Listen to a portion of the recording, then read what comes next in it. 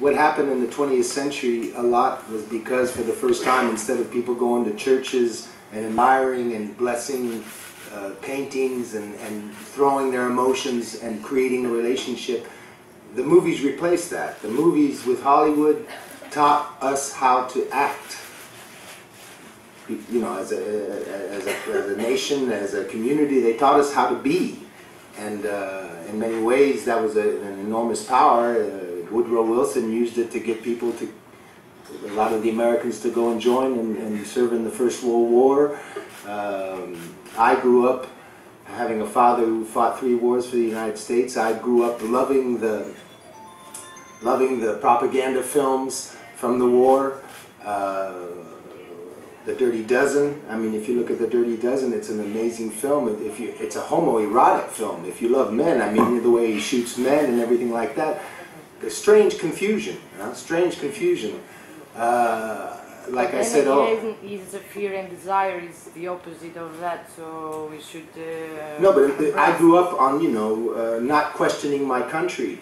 I grew up on all the information that I was given. There was no opposite information. I grew up with uh, the hatred of the communists because that's what the movies were telling me in those days. Fortunately, I grew up in the 60s and 70s when the Vietnam War changed the rapport of the, the people towards the government because they knew they were being used. So all of a sudden for me cinema was a way to, to fight back. Uh, and uh, for the young people today, I hope they have a chance of discovering Fassbinder, or discovering Dreyer, discovering the, the, the, the, directors that came before, because they allow us, like philosophers, to identify with characters who are confronted by real problems and, and finding a way of saluting, uh, finding a solution to those problems by being human. Today, you know, I, when Star Wars came out in the, the 1970s, I saw it, but it didn't change my life, and, uh, and I saw how afterwards it's become nothing but Star Wars and, and, and that it's just a pure illusion. And, and, maybe there you can look you know I mean I had a big discussion with my nephew how he was telling me how The Dark Knight was really a dark film. And I couldn't say but have you read Beckett? You know? I don't know how to I don't know how to approach that. So I hope that you know we don't we don't lose what we've learned from the the 20th century. We've I think we're finding ourselves in a position where corporations have become stronger than nations that we might find eventually the you know nations are going to disappear because they're not taking their responsibility anymore. Uh, cinema is a cultural way of communicating with the world. I think if there is going to be a consciousness, it's going to come through the illusion of cinema. Uh, I hope so, but right now I think we're maybe at the beginning of the end of capitalism, and that's why it's become so authoritarian. And that's why in most of our cinemas today, there's maybe one or two films we feel like seeing, but 98% of the films, you know, are, are these big budget uh, franchises that, you know, are, that, that have nothing to really share. And, and I think the emptiness the kids feel today is that, is that, you know, the, they can be entertained for the two hours, but then they need another two hours and they're completely hooked in this whole kind of habit of stimulation, which is just moving lights and images. So uh, I still believe in being an actor and, and doing films. It's just like I said also, the forum seems to be changing now because our cinemas are occupied, so we've got to find another way of, and you know, VOD is great because, uh, you know, uh, for example, when I did my first films, the internet was just starting, and I found out one time going on YouTube that one of my films had been seen 35 million times. Some Turk had taken one of my films and put it on YouTube. And instead of being horrified, I was going, my God, that's great. 35 million people have seen this. Whereas before, you couldn't, you know, your film, you did your film, it would come out in cinemas and then it'd come out on the TV and maybe on video eventually. So, I mean, uh, I really believe that, you know, there's a, the internet is a big black hole which is sucking everything into it of what we know and how things are done. But it's also providing the, the seeds for a true world consciousness.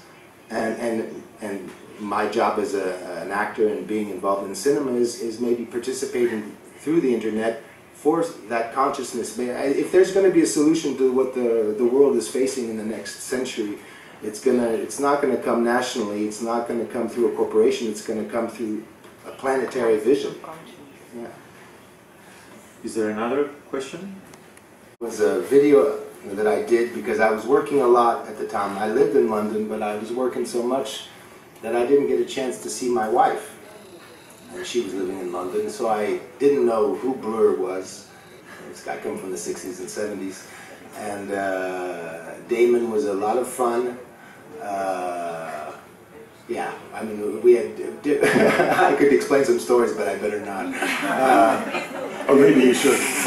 yeah, yeah, but it it was a it was a fun experience. But I mean, I, I really didn't know who Blur was. Uh, people were really exciting that I excited that I I did it, um, uh, and the, and the video was quite good. But I must claim complete ignorance about knowing who they were.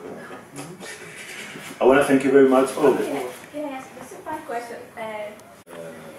Festival d'Avignon and the Palace of the Popes. I performed there. I did a play also in uh, London with Vanessa Redgrave, Peter Hall, who just died uh, this year. The problem is, is being American, uh, you're limited by you know the roles you can play, and so and when in France there are schools and and you know once I started working with Lars von Trier, I took myself kind of out of the French system as well. So you know you've, you've got to play politics when you're an actor, and and I played my politics, and I'm, I'm still around.